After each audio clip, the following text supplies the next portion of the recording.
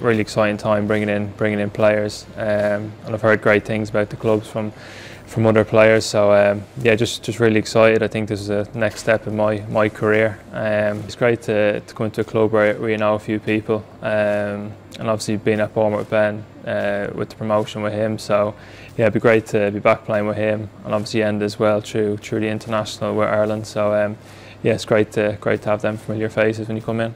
I think a lot a lot of the new lads, a lot of us new lads have been like it's a it's a welcoming changing room and and the lads like they've, they've been brilliant with us. Um, and there's a lot of there's plenty of new faces here, so there's a there's a freshness to the to the dressing room, and with the championship being so relentless, me and Mark would have experienced the same type of feelings, you know, if things aren't going well for you, or um, just how to react to, to disappointments, because you're going to have disappointments over the, the course of a season, and it's just how you react. And I think you can just kind of bring them experiences of being through it before. I think it shows how highly people rate him you know, the fact that they've been so confident to put him in and he's played a full season in the Championship and, and managed to get out of the league um, and he's also played in the Premier League. So, our perspective, like you say, at his age, with the experience he's already sort of got, um, that winning mentality in terms of understanding what it takes to get out of division, I think they're ingredients that we're looking to add to the squad. Yeah, from the phone calls, it's it's a really exciting project. Um, obviously, a great manager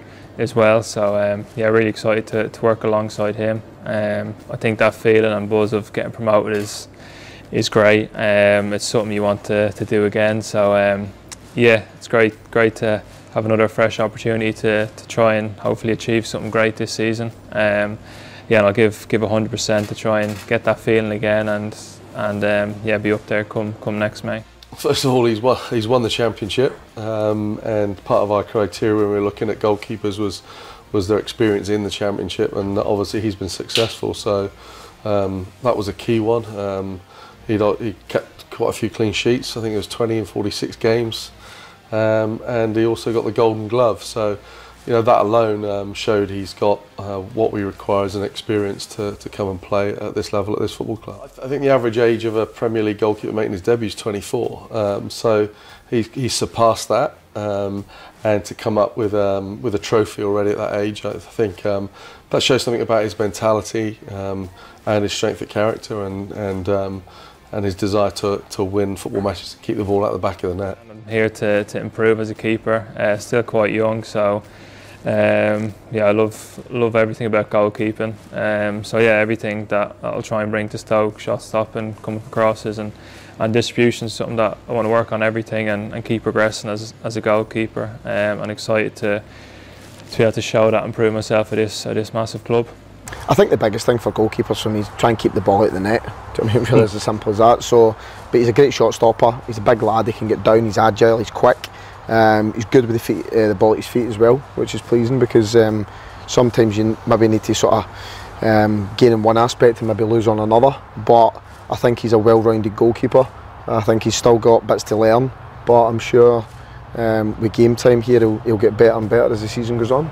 The thing is with Ireland is that we have three young uh, keepers similar age and, and they're all top quality and he, he's fighting it out with them. But I think if you look at Mark over the season when uh, Bournemouth played in the Championship and got promoted. I think he was excellent that season. Um, I, I, don't know if he kept the most clean sheets, so he might have been pipped towards the end, but he was up there. Um, and he had, a, he had an excellent season with them. His best qualities, um, I would probably say with the ball at his feet. I think he's brilliant with the ball at his feet. I remember with Ireland, he joined in um, with one of the possession games, and I don't think he gave the ball away. I think sort of the relentlessness of, of the championship is a lot of games um, and not being too disheartened by some bad results or bad games because there's always one around the corner and refocusing on that and going again.